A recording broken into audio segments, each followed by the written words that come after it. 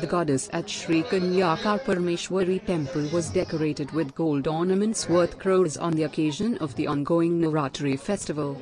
The organizing committee said that jewelry worth 4.5 crore rupees was gifted and cash worth 2.5 crore rupees was gifted as currency notes to decorate the temple interiors. The idol of the goddess was wrapped with gold jewelry and decorated with new currency notes of every possible denomination. Indian as well as foreign currency notes were used to decorate the walls of the temple. Reportedly, 200 devotees have contributed in gold and cash this year.